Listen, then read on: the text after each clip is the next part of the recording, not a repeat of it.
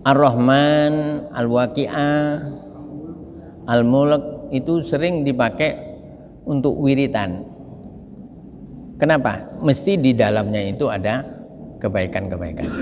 Walaupun secara umum ya secara umum Al-Qur'an itu ya baik semua, baik semua. Cuma orang dulu ya, orang dulu artinya nenek moyang kita itu biasanya malah tujuh ya.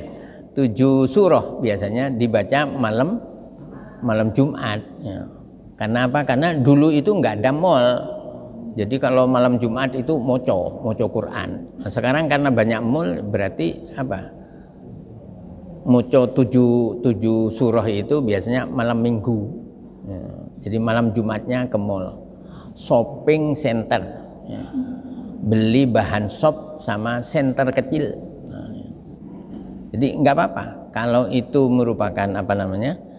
Merupakan suatu kebaikan, ya kita tiru. Boleh. Tapi yang jelas Al-Quran itu semuanya baik. Semuanya baik. Katanya ayat berapa? 57. Surahnya itu surah 10. Surah 10 ayat 57. Surah Yunus.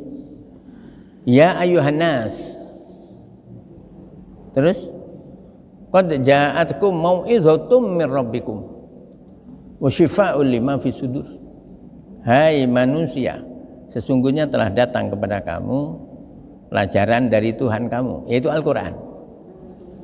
Quran itu bisa menjadi syifa'ul lima fisudur, menjadi obat hati. Di semua sebetulnya, semua Quran itu boleh. Terutama yang terkait dengan persoalan orang, orang itu. Jadi ketika kita tahu bahwa si A itu kok sepertinya anu apa wiritannya pakai Al-Qur'an. Kalau malam Jumat baca ini ini ini silahkan karena itu bagus. Ya, bukan hanya Yasin di malam Jumat itu ya Ar-Rahman, Waqiah, Yasin, Kahfi, Al-Mulk. Pokoknya tujuh biasanya ini. As-Sajadah. Sudah, sudah berapa? Tujuh. Hah?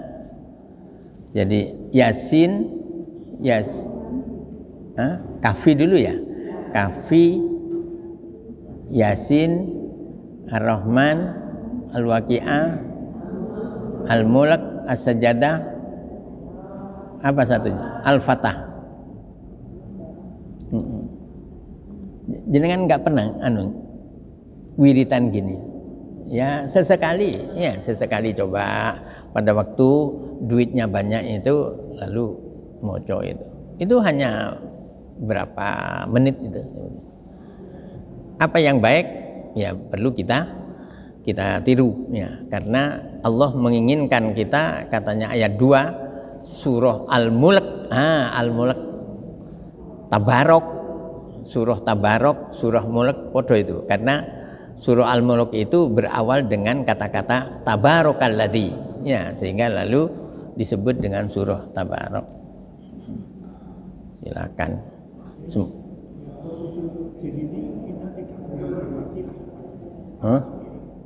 Nggak, nggak usah. Ya. katanya orang di Karah tadi malam ini. Ya. Tadi malam itu. Kenapa kita kok sering pakai wasilah-wasilah katanya kok tiga? Direct dengan Allah. Wih pakai direct bareng gitu tidak langsung aja. Yaitu salah satu cara gitu. ada orang caranya itu pakai muter-muter dulu baru tidak usah disalahkan.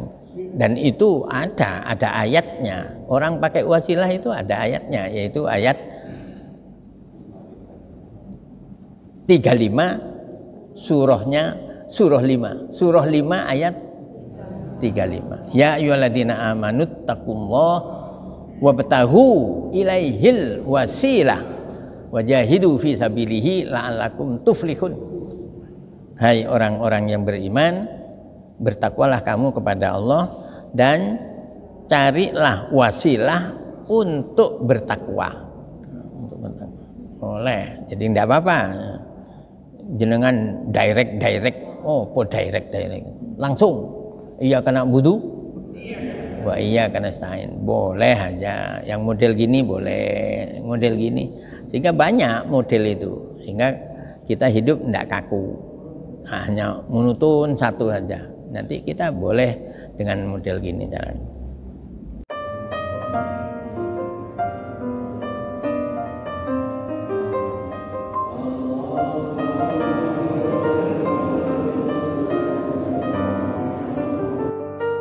尊龙我。